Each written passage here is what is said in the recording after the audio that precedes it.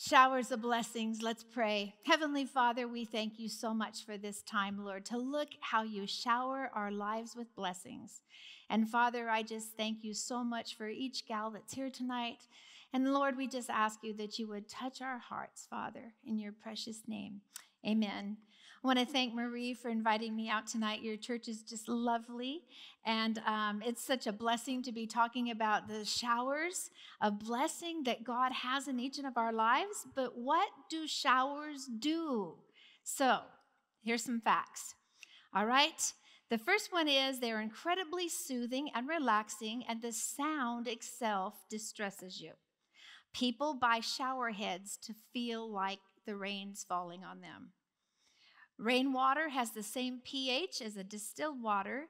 It helps neutralize our blood pH levels and promotes better stomach function.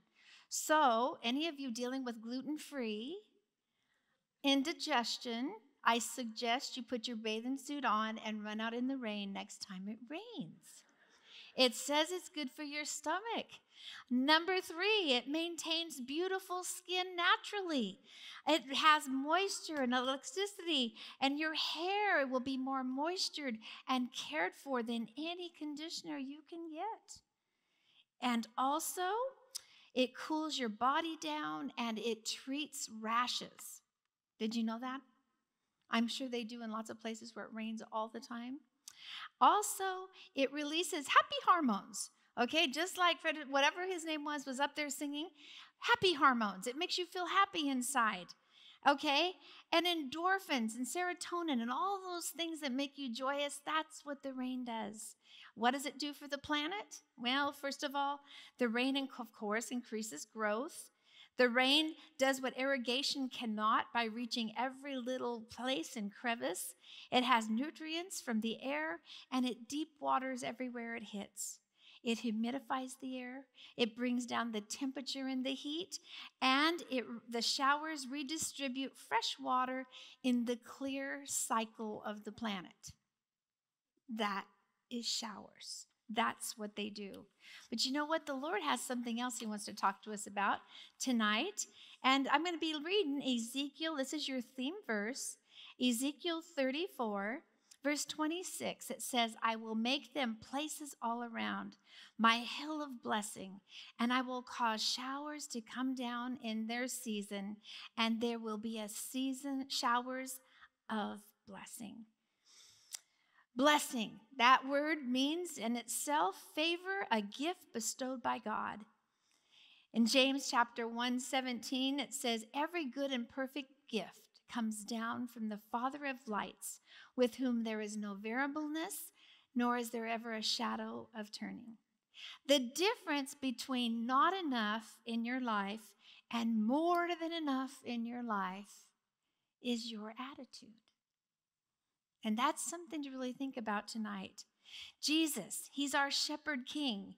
But many times, some of you girls sitting here, just as our friend was up here sharing about the Bible study that they're looking at, you know, he's our shepherd, but many times you're going to look and say, you know, my life looks nothing like that stained glass window that's in the church.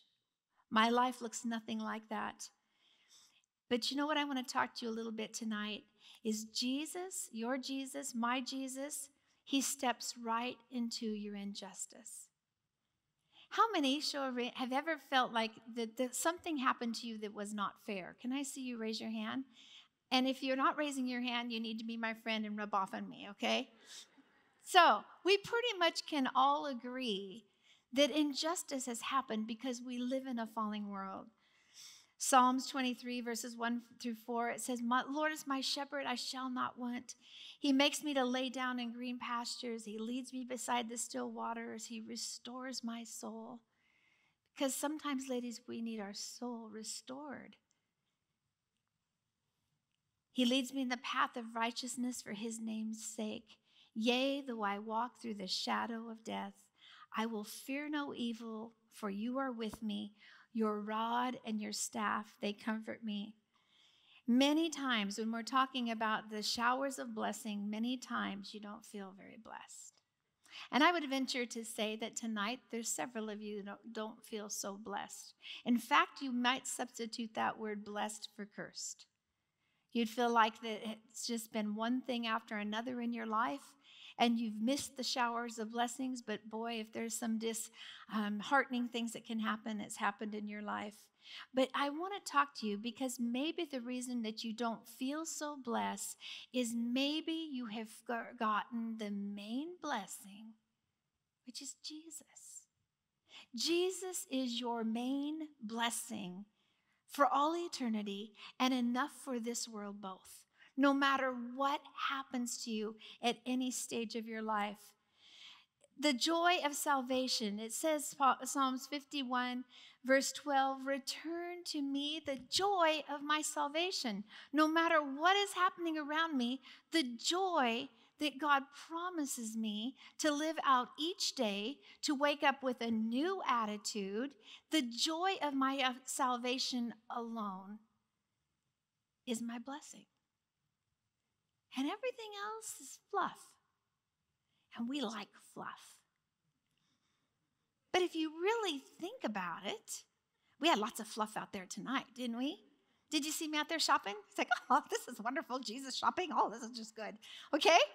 I but we all like the more. But you ladies, I want to remind you tonight if nothing else ever happens good in your life, you have the joy of salvation no one can take from you.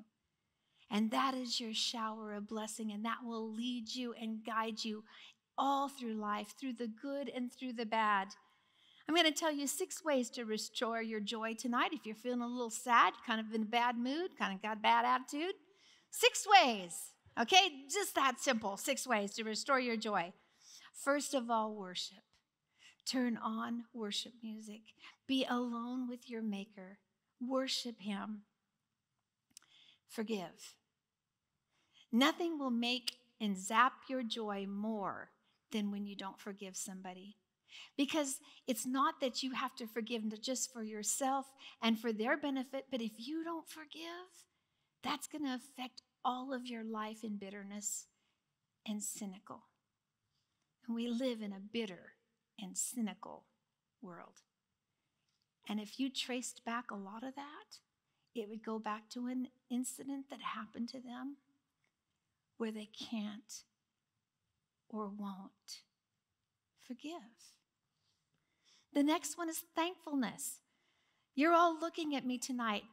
Thank God for your eyesight. Thank the Lord that you could walk in here, that each one of you, thank the Lord right now for all of your blessings, the joy of your salvation, that you don't have to worry about where you're going to go, how you're going to die. God is going to take care of it. You will never die before your time and walk that out daily, going, I am safe in your arms. We have a world today speaking fear, fear, fear.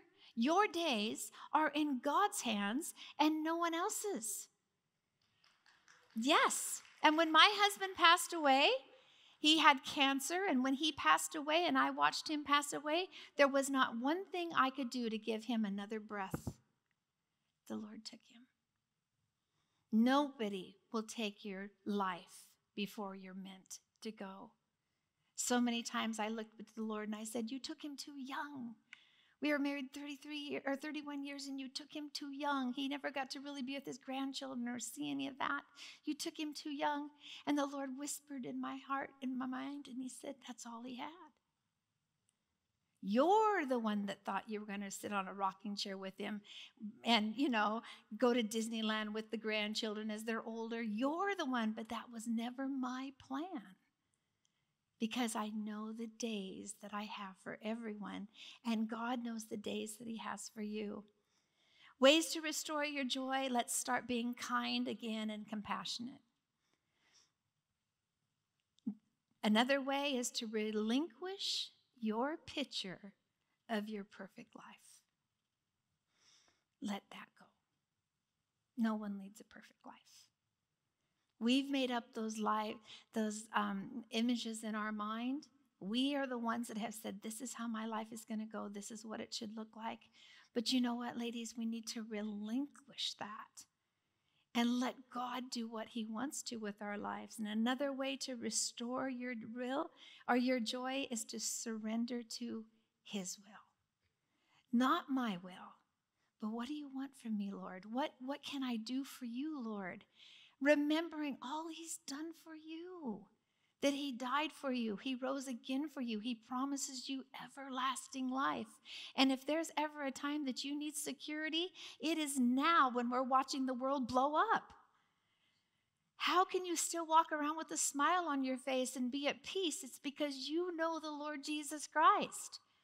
And that gives you freedom to be who you are and be that bright and shining light for the Lord. I love this. It says, Grace is when God gives us good things we don't deserve. Mercy is when He spares us from bad things we deserve. And blessings are when He's generous with both. Yes, please. Generous with both. Thank you, Lord, for doing that for me. And so now we're going to read just a little bit. If you want to turn with me, I don't know if you brought your Bibles or not, but if you don't have your Bibles, that's okay. But I'm going to be in Ezekiel chapter 34, verse 23. And it says here in verse 23, it says, I will establish one shepherd over them, and he shall feed them. My servant David, he shall feed them and he will be their shepherd. Now we know that King David, and lots of you are here at the church and you've studied about King David, that Jesus came through that line and lineage through that. And God's going to establish also, bring him, bring Jesus through that, a king that will never fail. And it says here verse 24, I am the Lord, I will be their God, my servant David, a prince among them, amongst them, and I have spoken this. You know, other leaders fail, and we're watching the failure of many leaders. And if you studied the life of King David, he failed. He had a lot of things going on in his life that were really to be concerning, but he was always sorry and came back to the Lord. You've not sinned enough, girls, that God does not still love you tonight. He still loves you tonight, no matter what you've done. And the Lord declares here, I will be their shepherd, is what God's saying in verse 24. I will be their shepherd, their shepherd. David was a prince with a small p. We have the King of Kings and the Lord of Lords and the Lord Jesus Christ. And he deliberately lays down his life for his sheep. And that says that in John chapter 10, verse 11. He deliberately laid down his life for you to have eternal life. It wasn't just the, the, the Jewish culture that came and, you know, killed him and the Romans and all that. It was because he deliberately knew that was the only way you and I could go to heaven because we can't work our way there. Now, if that doesn't put a smile on your face, I don't know what's going to. You can't earn your way to heaven. Can I get an amen? Some churches say, so be it. Try a so be it. Okay, you don't have to work your way to heaven. It was a gift that the Lord has given you, and that should make you joyous in your heart. I could never knock on enough doors or hand out enough pamphlets or do enough good deeds to ever surpass the joy that God has given me freely. And He said that all I had to do was believe. And then it says here, you know, Israel was going through a hard time back then because, um, you know, it, it was bleak. They, they are in a trial. Has anybody ever been in a trial that looks pretty bleak? It was a bleak situation. Get it? Bleak. It was bleak for the sheep. Bleak for the sheep. Get, yeah, yeah. But it was bleak for the sheep. Okay, it was bad. And he, they're in there, and they're having all these these things issue, issue was happening. Harvest was poor. The dry was the land was dry. Gas was over six dollars a gallon. How am i ever going to feed my Rolls-Royce?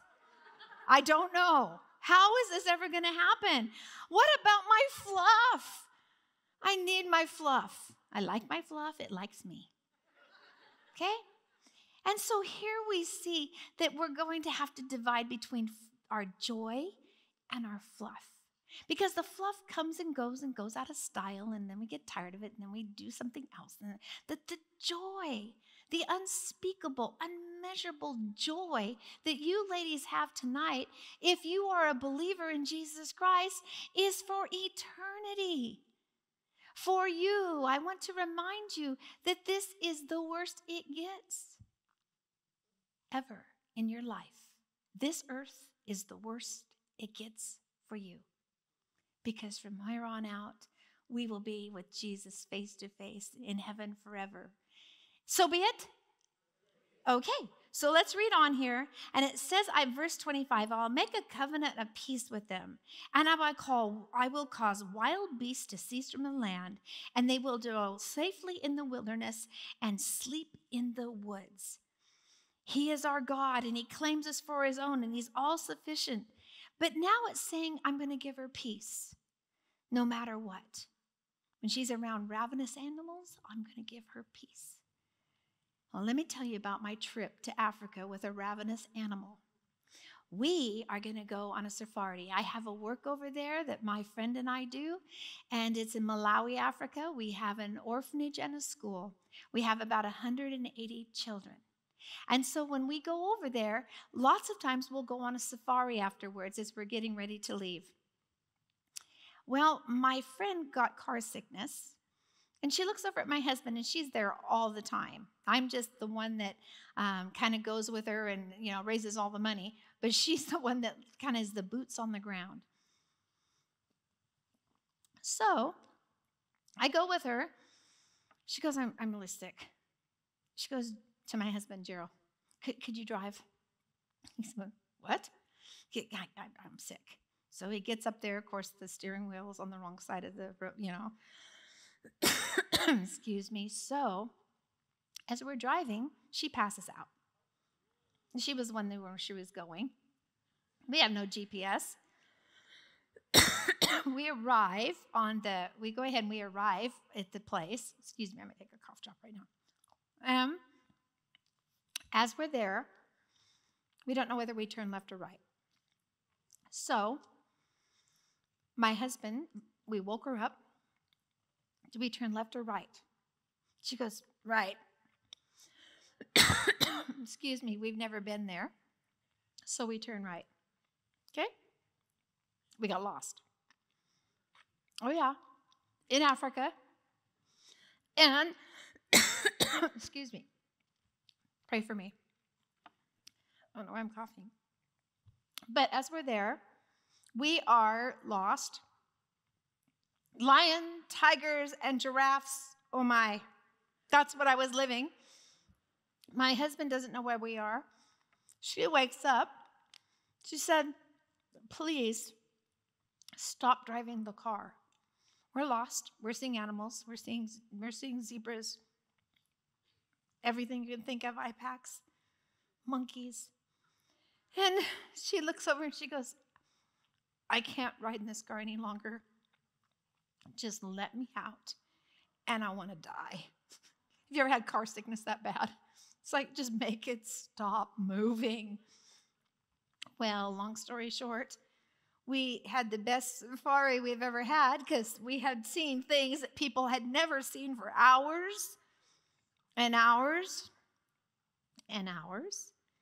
And then I start to panic a little bit like, what if we run out of gas? We're going to be eaten.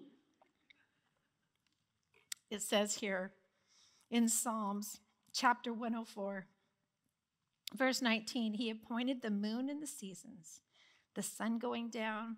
He makes the darkness night in which the beasts and the forest creep about.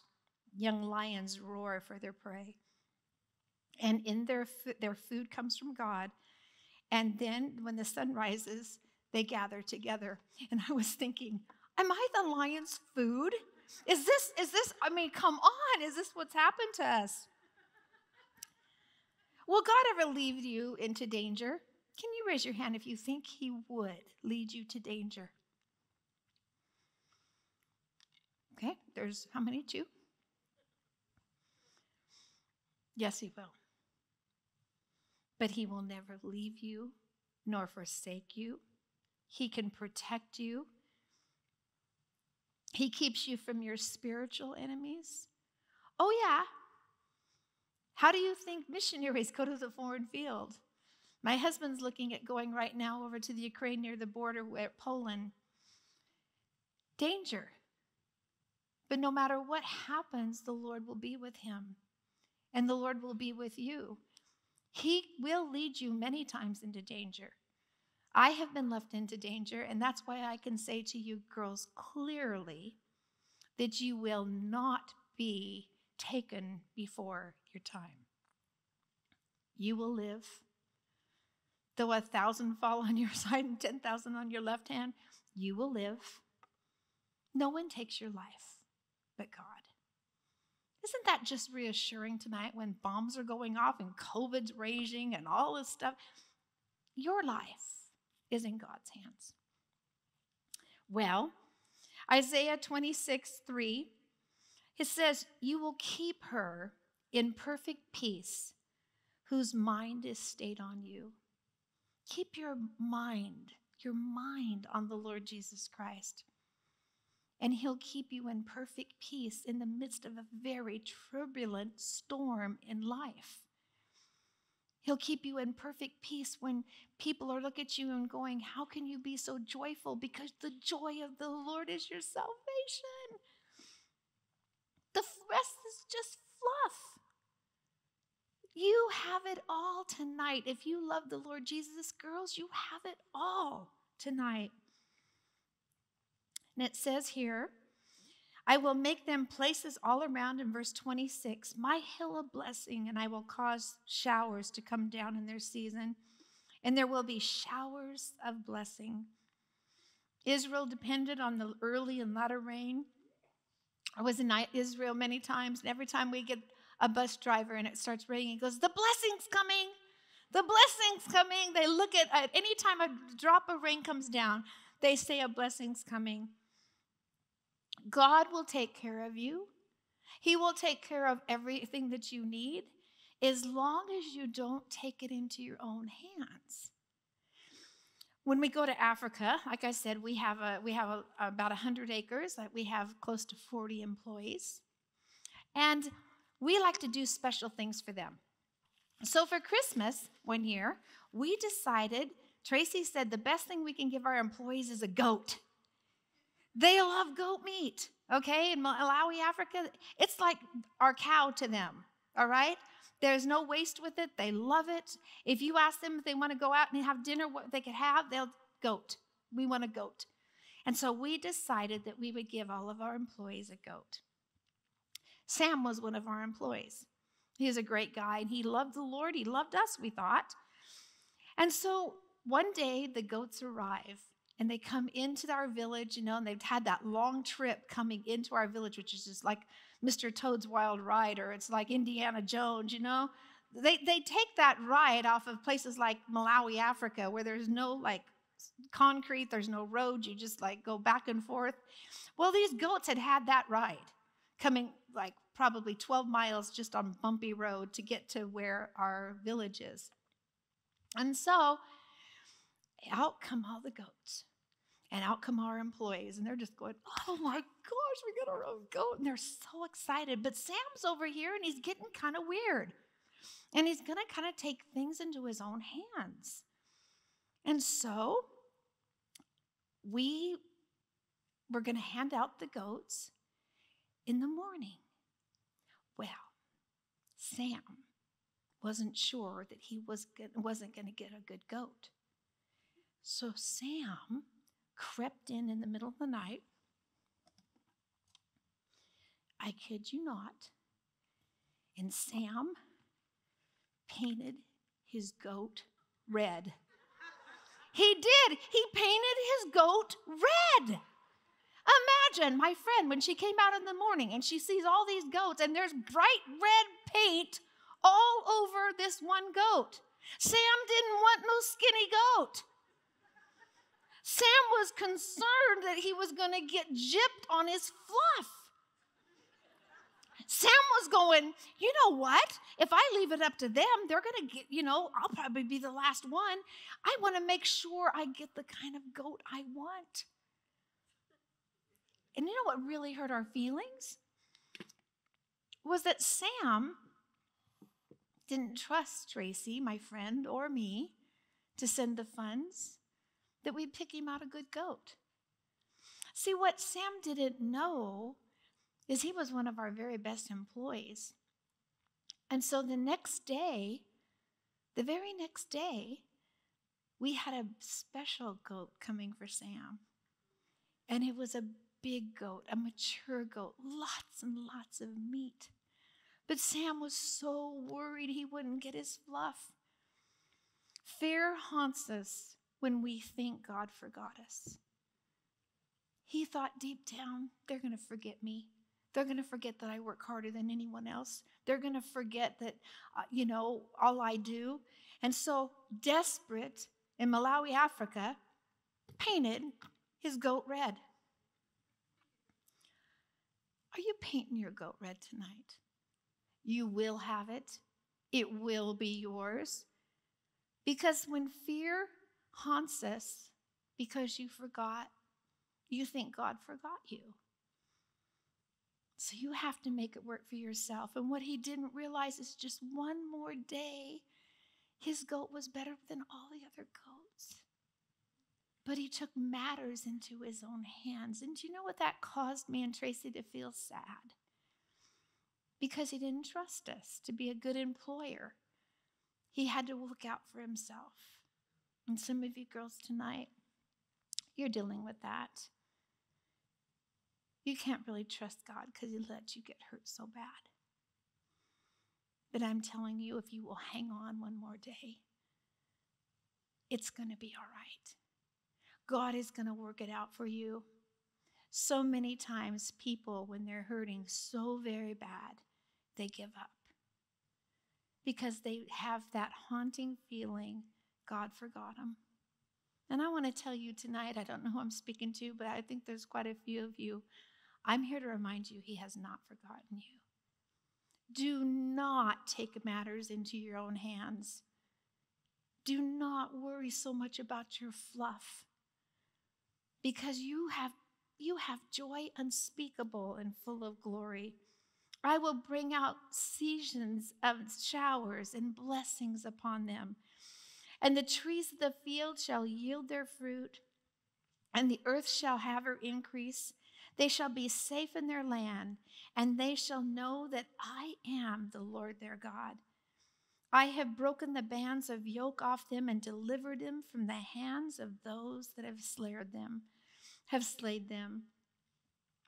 In Matthew chapter 11, verse 28, this is what Jesus says to you Come to me all of you that are laboring and you're tired and you're heavy laden and you got burdens and you're so bummed and you're so tired of it all and want to quit, and I'll give you rest, Jesus said.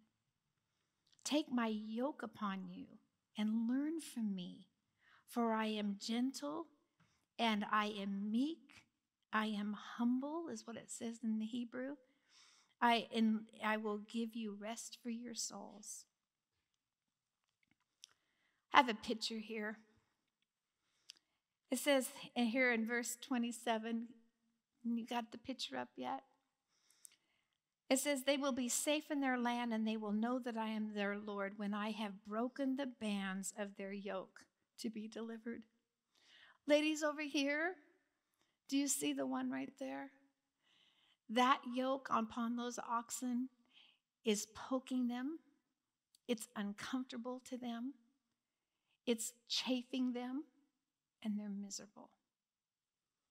And Jesus says this I have broken the bands off that burden, off that yoke, off that that is containing them, and I am delivering in them from the hand that's enslaved them. And many times, you know who's enslaved you? You because we're worried about so many things. And your God doesn't want you to be worried. Like it said here in Matthew, his burden is easy. Do you see the other one? It fits perfectly. And he just walks with you through life. Tonight, don't forget how precious he is to you. In Deuteronomy, it says here, I'll just read it to you real fast because it's such a beautiful verse.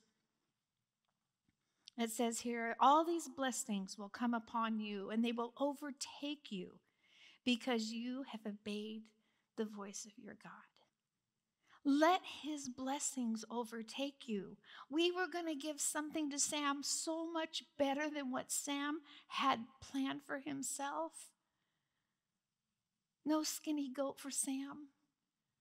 But see, ladies, when you don't trust your employer, when you don't trust your maker, it just turns out to be a big mess. It says here in Psalms 103 verse 2 to 5 Forget not all his benefits. Let your soul tonight pant after the Lord. Do not be distraught.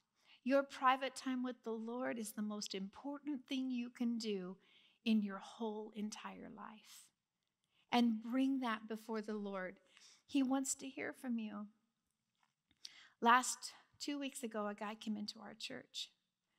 And we didn't recognize him, but a lot of people came up to greet him. And so we're kind of watching him. It was a Sunday night service, and there was worship going on. And afterwards, he came up and talked with the pastor. And he looked at Pastor BJ and he said, The minute I walked into this room, and the minute I heard the keyboard start a chord, whatever darkness there was in me fleed. And do you know what he said then? I'm so glad I didn't kill myself today. Ladies, this is your time to shine. This is the time to tell everybody about the showers of blessings that the Lord is pouring onto his people, giving people time to come to him because he truly is a God worthy to be praised. He is the one that cares for you no matter what the seasons are in your life. But maybe right now, you're looking at me and you're just going, I don't really know for sure what you're talking about, but it sure feels good to my heart. And if that's you, I'd ask us all just to bow our heads right now. No one's looking around. But tonight, if you're burdened, you're like the oxen over there where the, the yoke does not fit. Things are poking you that you don't want in your life anymore. You're just dealing with a lot of heartache and, and drama. And you want to accept Jesus as your Savior. I just ask you right now to very quietly just slip up your hand and nobody's watching. That you've been painting your goat red and you're tired of it. All over this room, hands are up. No one's looking around. Keep your hands up. It's not for my benefit you're raising your hands, it's for your benefit because while you're raising your hands, you're reaching back out to your Creator. ladies, we're all going to say a prayer and we're going to all say it together and help our saints. So many of them in this room accepting Jesus tonight. Let's just go ahead and repeat this and welcome them into the family. Repeat after me Dear Lord, Everybody say it. Thank you so much for your saving grace for my life. I do believe what you did on the cross. I do believe that you rose from the dead. And I ask you to come into my heart. Take up residency in my heart. I'm tired of seeking my own. Return to me the joy of my salvation. Thank you for my home in heaven. And from this moment on, my life is yours. You know, it's the wisest thing you'll ever do in your life.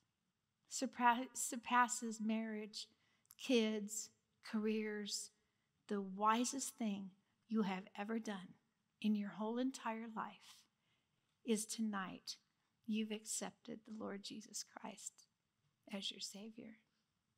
Do you know what else? You live close to a nice church like this, Calvary Chapel. I know the pastor's wife, Marie, and she loves Jesus. And I know Connie, and she loves Jesus. This is where you need to grow. Come back, get to know your Maker, And girls, tomorrow when you go to work or you go about your day and with you with your children, smile. Your days are in your God's hands, and nothing will take it from you. Years ago, there was a song. It was a hymn. There shall be showers of blessings. This is the promise of love. There shall be seasons of refreshing sent from the Savior above. Showers of blessing. Showers of blessing I need. Mercy drops round us are falling. And just think about that. Mercy drops all over you tonight. God's mercy and His love. It's just dropping all over you, immersing you.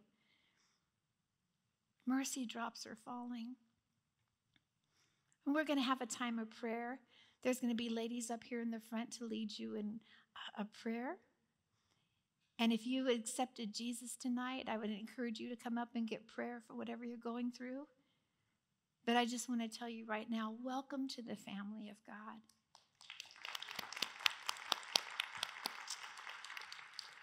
Let's pray. Heavenly Father, we do thank you for this time, Lord, where, Lord, so many times in our lives we are frightened by the beasts that come against us, Lord Jesus. They might not be ravenous lions, but Lord, we feel them in our heart, that threat.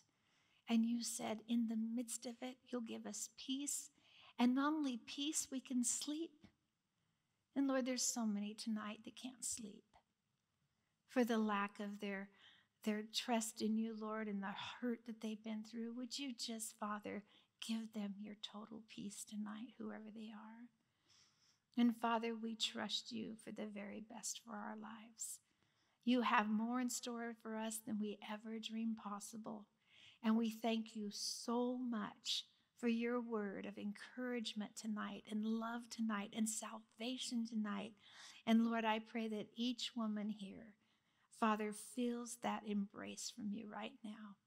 In your precious and holy name. Amen. God bless you, ladies.